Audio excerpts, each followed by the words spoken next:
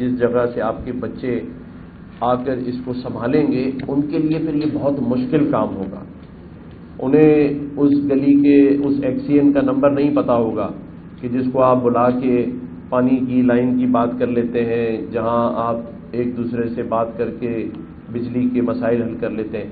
لیکن اگر ہمیں اسے واقعی، جسے ہم کہتے ہیں کہ یہ شہر کراچی، معیشت کا ہب ہے، منی پاکستان ہے تو میں یہ سمجھتا ہوں کہ ہم نے اس کے لیے کیا کیا ہے اور ہم کیا کر سکتے ہیں، وہ ایک پیپر بنائیں بیٹھ کر۔ آج ہم ایک دوسرے پر تنقید کریں، ایک دوسرے کو مسائل بتائیں اور اس کے فوری حل کو میں یہ نہیں کہتا کہ نہ کریں، جو فوری مسائل ہیں اس کا بھی ایک پیپر بنائیں۔ لیکن مستقل بنیادوں پر اس شہر کی اہمیت کو سمجھتے ہوئے آپ کا اس ملک کی معیشت میں حصہ کیا ہے اسے سمجھتے ہوئے۔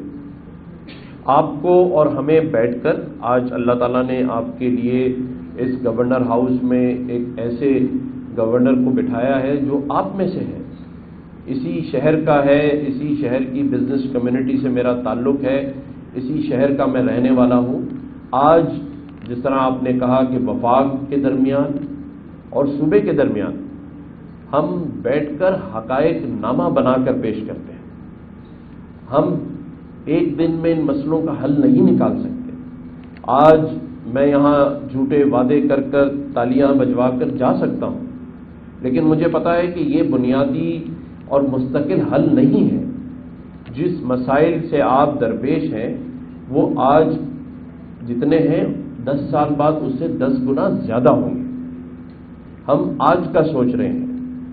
میں سمجھتا ہوں ہمیں اپنے کل کا سوچنا چاہیے۔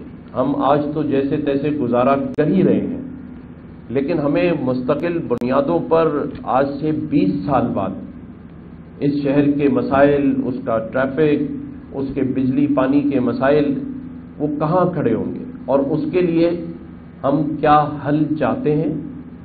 آپ کی ایسوسیشن سے ہمارے پاس ایک فورم ہے جس کی ابھی میں بات کر رہا تھا ادریس بھائی سے کہ S I D C L ہے، اس کو ایکٹیو کریں۔ ساری ایسوسیشن اس میں ہیں۔ آئیں، بیٹھ کر آپ اپنی ایسوسیشن کی جو ون پیجر ہے بنا کر لائیں۔ میرا یہ آپ سے وعدہ ہے کہ میں آپ سبھی کے درمیان رہ کر وزیر اعظم پاکستان کو ان تمام چیزوں سے آگاہ کروں گا۔ وزیر اعظم پاکستان کو ہم جب یہاں کراچی دعوت دیں گے تو آپ کے تمام نمائندے موجود ہوں، لیکن ہم اس حل کے ساتھ موجود ہیں۔ ہم جب وزیر اعظم آتے ہیں تو میں نے دیکھا ہے کہ چیمبر والے، فیڈریشن والے کھڑے ہو کر صرف یہی بات کر رہے ہوتے ہیں کہ جی انرجی کا کرائسس ہے، یہ ٹیرف ریٹ ہے۔ اور وہ سن کر پھر یہی بات کہتے ہیں کہ ہم بہت سارے مسائل میں آئی ایم ایف میں پھنسے ہوئے ہیں۔ تو یہ تو آج کا مسئلہ ہے۔ لیکن دس سال اور بیس سالہ پالیسیز بنانے میں کسی کو کوئی اعتراض نہیں ہوگا۔ آج ہم بیٹھ کر بات کرتے ہیں کہ اگلے بیس سال میں ہم پاکستان کی ایکسپورٹ پاکستان کی انڈسٹری اور پاکستان کے پڑوسی ممالک کے ساتھ کیسے اپنی تجارت بڑھا سکتے ہیں۔ کل رات میں ایرانی کانسلیٹ میں تھا، وہاں پیٹرو کیمیکل اور باقی جو کیمیکلز کی ایران کے جو بڑے بزنس مین ہیں، ان کا جو ایکسپورٹ پرمیشن بیرو ہے اس کے چیف وہاں آئے ہوئے تھے۔ ایک سو بارہ بلین ڈالر کی ایکسپورٹ کر رہا ہے ایران۔ دنیا بھر کی سینکشنز ہیں اس کے پاس۔ آج ہم جاتے ڈرتے ہیں ایران کے پاس کہ جی ویسٹ جو ہے وہ ہم سے کہے گا کہ آپ ایسے ملک میں کام کر رہے ہیں۔ لیکن یہ تو دیکھیں حقائق نامہ کیا ہے کہ جو ملک پر اتنی ساری سینکشنز ہوں، وہ ایک سو بارہ بلین ڈالر کی ایکسپورٹ اور اس کے ریزرو دیکھیں۔ ان کی معیشت دیکھیں، ان کی اکانومی دیکھیں، ان کے باقی معاملات دیکھیں کہ کس طرح انہوں نے اپنے ملک کو آج سنبھالا ہوا ہے سینکشنز کے باوجود۔ لیکن پاکستان جو یہ دعویٰ کرتا ہے کہ چائنا بھی ہمارا دوست ہے، سعودی عرب بھی ہمارا دوست ہے، امریکہ بھی ہمارا دوست ہے، سارے ہمارے دوست ہیں، اور سب سے زیادہ ہم پریشان ہیں۔ تو وہ دوستی تجارت میں کیوں نہیں بدل رہی ہے؟ اس لیے کہ ہم دعوت نامہ سب کو دے آتے ہیں۔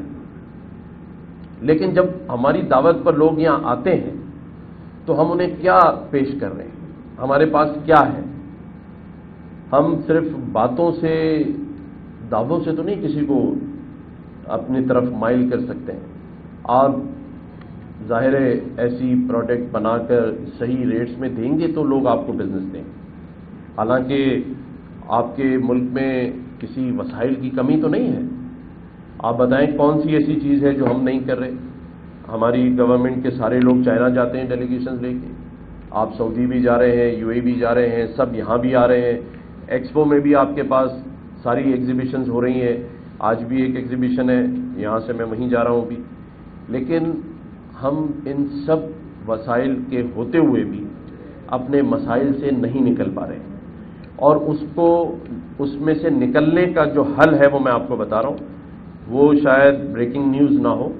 وہ شاید آپ کو ایسا لگے کہ پتہ نہیں گورنر صاحب بڑی بس بور کر کے چلے گئے، لیکن میں آپ کو حقیقتاً بتا رہا ہوں جتنے مسائل میں آج آپ ہیں، اگلے پانچ سال، دس سال، پندرہ سال، بیس سال میں اور مزید پھنسیں گے۔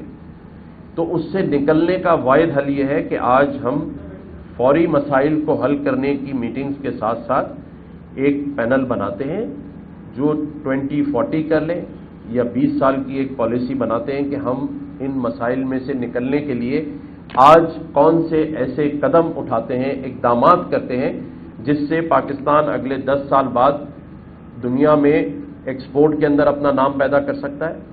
ہمارے یہ جو مسائل، شہری مسائل ہیں، جس کی آپ نے بات کی ڈی ایم سیز کی بات کی، آپ نے ہمارے ہاں باقی مسائل دیکھیں مسائل تو سبھی جگہوں پر ہوتے ہیں، اصل چیز ہوتی ہے ان کا حل نکالنا۔ اور جب تک ہم حل نہیں نکالیں گے، مسائل حل نہیں ہوں گے۔ آج ہمیں سب سے بڑا جو زور ڈالنا چاہیے بزنس کمیونٹی کو بھی، وہ ہے ایک مضبوط بلدیاتی نظام کا، جہاں پر اگر یوسیز جو ہیں آپ کی، وہ ان پار نہیں ہوں گی، ان کے پاس بجٹس نہیں ہوں گے، ان کے پاس اختیارات نہیں ہوں گے۔ تو یہ گلی کے جو پانی کے مسائل ہیں، یہ جو سیوریج کے مسائل ہیں، یہ چیف منسٹر صاحب، یہ پرائم منسٹر نے حل نہیں کرنے۔ یہ آپ کی یوسیز نے حل کرنے۔ تو ہمیں بات کرنی چاہیے مضبوط با اختیار بلدیاتی نظام کی۔ اور ایسا بلدیاتی نظام جو کہ پچھلے ادوار میں رہا ہے ہمارے پاس۔ اور آپ سب نے دیکھا کہ جب جب بلدیاتی اداروں کو اختیارات ملے تو مصطفیٰ کمال بھائی جیسے میئر نے کراچی میں بڑا کام کیا ہے، اس کی گواہی آپ سب دے سکتے ہیں۔ تو میں یہ سمجھتا ہوں کہ ہمیں مسائل کے حل کے لیے ایسے اقدامات کرنے ہیں۔ اس کے لیے بحثیت گورنر سندھ، میں ہر وقت آپ کے ساتھ کوارڈینیشن کے لیے حاضر ہوں۔ آپ سبھی جانتے ہیں کہ گورنر ہاؤس کے دروازے عوام کے لیے بزنس مینوں کے لیے کھلے ہوئے ہیں۔ ہم نے کہیں پر کسی بات کے لیے نہ نہیں کیا۔ آپ کے زبیر موتی والا صاحب گواہ ہیں کہ جس وقت، جس پہر، جس بزنس مین نے بھی عقیل کریم ڈیڈی صاحب گواہ ہیں۔ آپ ادریس بھائی، آپ نے تو ساتھ ہمارے راشن ڈسٹریبیوشن میں بڑا کام کیا ہے طاقتور پاکستان کے ساتھ مل کے ہم نے۔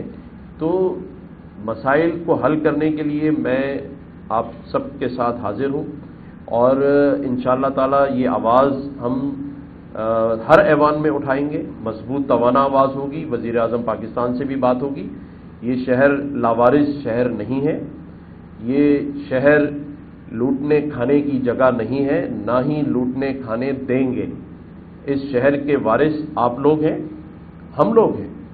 ہمیں اپنے آنے والی نسل کے لیے، اپنے بچوں کے لیے نظر رکھنی ہوگی کہ ہم جا کس طرف رہے ہیں۔ اس شہر کو لے کر کس طرف جایا جا رہا ہے؟ کہیں شیعہ سنی فسادات کرانے کی کوشش کی جاتی ہے؟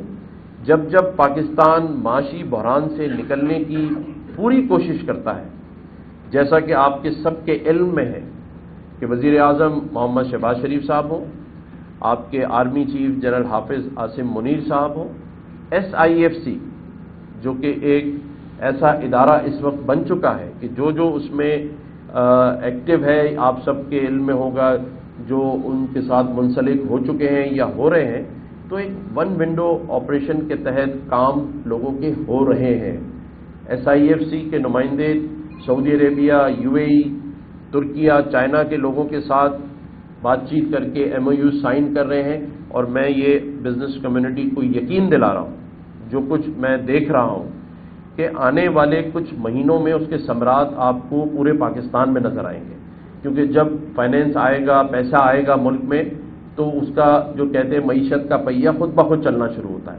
لیکن آپ دیکھیں، جب جب معیشت پر بات ہوتی ہے، ہمارے لوگ یا دوسرے ممالک کے لوگ پاکستان آتے ہیں، تو پھر بلوچستان جیسے واقعات دوبارہ سے شروع ہو جاتے ہیں۔ اور یہ حالیہ واقعہ آپ نے دیکھا، یہ پرانا ڈیزائن ہے، یہ پرانی فلم ہے۔ جس کے ڈائریکٹرز پروڈیوسرز کہیں نہ کہیں موجود ہیں۔ جب انہیں لگتا ہے کہ پاکستان معاشی طور پہ اپنے پیروں پہ کھڑا ہو رہا ہے، تو یہ پرانی فلم دوبارہ کر کے چلا دی جاتی ہے۔ لیکن اس کا مقابلہ ہماری فورسز بھی کر رہی ہیں، ہمارے لوگ بھی کر رہے ہیں۔ اور انشاءاللہ ہم ڈرنے والے نہیں ہیں۔ دیکھیں، میں ہمیشہ ایک بات کہتا ہوں کہ ہم اگر جب تک فرد رہیں گے، جب تک ہم ترقی نہیں کر سکتے، ہمیں سب کو ایک قوم بننا ہے۔ اور فرد نہیں اور قوم والا جو سلوگن ہے، اگر ہم اس پر کام کریں گے، تو ہمیں پھر فخر بھی ہوگا کہ ہم پاکستانی ہیں اور اپنے ملک کے لیے کچھ کر رہے ہیں۔ دیکھیں، ہم نے اپنے لیے سبھی کچھ کر لیا ہے۔ اب ہمیں اپنے اس پیارے وطن کے لیے، ملک کے لیے، اس کے نام کے لیے بھی سوچنا ہے کہ آج پاکستان کا نام دنیا میں کس لیول پر ہے؟ اور ہر لحاظ سے، معاشی لحاظ سے تو سبھی کوششیں کرتے ہیں۔ لیکن معاشرتی بھی کوئی چیز ہے، معاشرت جسے کہتے ہیں، معاشرہ بحثیت قوم، ہم اپنے لیے اور اپنے وطن کے لیے کیا کر رہے ہیں؟ اس پر بھی سوچنے کی ضرورت ہے کہ ہم صرف ایک ہی مسائل میں پھنسے ہوئے ہیں کہ ہماری معیشت ٹھیک ہو، لیکن میں سمجھتا ہوں معیشت کے ساتھ ساتھ ہماری معاشرت بھی ٹھیک ہونی چاہیے، ہماری اخلاقیات بھی ٹھیک ہونی چاہیے، اور ہمیں پوری کوشش کرنی چاہیے کہ ہم ایک دوسرے کو ٹھیک کرنے کے بجائے مسائل کو ٹھیک کریں، ایک دوسرے پر تنقید کرنے کے بجائے تصحیح کریں۔ اور یہ تصحیح کا عمل اور ٹھیک کرنے کا عمل مسائل کو، یہ دو چیزیں ہمیں آگے لے جانے میں بڑی مدد کر سکتا ہے۔ اور اس کی مثال آپ کے سامنے، یہ گورنر ہاؤس سندھ کراچی میں ہے، جہاں ہم نے نہ اختیارات کا رونا رویا، نہ ہم نے مسائل کا رونا رویا۔ آج الحمدللہ پچاس ہزار بچے گورنر ہاؤس میں آئی ٹی کے ایڈوانس کورسز کر رہے ہیں۔ آج الحمدللہ سات لاکھ سے زائد راشن ہم نے اسی شہر میں ضرورت مندوں کو دیا۔ موٹر بائکس کا انیشیٹو ہو، لیپ ٹاپس کا انیشیٹو ہو، روزگار اسکیم ہو، اور یہ وہ سارے انیشیٹوز ہیں بچوں کا فری بریک فاسٹ ہو، جس میں گورنمنٹ آف سندھ یا گورنر ہاؤس کا ایک روپیہ شامل نہیں ہے۔ تو اس کا مطلب ڈیزائن موجود ہے، ماڈل موجود ہے، صرف جسے میں کہتا ہوں کہ جو سارے لوگ مل جائیں، جس طرح ساری ایسوسیشن سارے چیمبرز تو اس پر شاعر جو کہتا ہے کہ جب اپنا قافلہ، جب اپنا قافلہ عزم و یقین سے نکلے گا، عزم بھی ہو اور یقین بھی ہو، تو پھر جب اپنا قافلہ عزم و یقین سے نکل پڑے گا، تو شاعر کہتا ہے کہ جہاں سے ہم چاہیں گے، رستہ وہیں سے نکل سکتا ہے۔ اور ان شاء اللہ تعالی ہم رستہ نکالیں گے بھی۔ پاکستان پائندہ باد، پاکستان زندہ باد، لیکن عملی طور پر ہم نے حل نکالنا ہے، سوچنا ہے کہ ہم جو ایک دوسرے کو مذاق میں لیتے ہیں، باتیں بہت کرتے ہیں، ماشاءاللہ پاکستانی لوگ ہر بات پہ بات کرتے ہیں۔ یعنی آپ یہی سوچیں کہ ملیں کسی آپ کپڑے کے تاجر سے، لیکن وہ بتائے گا آپ کو کہ پاکستان ٹھیک کیسے ہو سکتا ہے؟ وزیر اعظم کیسے ٹھیک ہو سکتا ہے؟ لیکن ہم اگر اپنے کام پر توجہ دیں اور مسائل کے حل کرنے کے لیے مل جل کر راستہ نکالیں تو نکل جائیں۔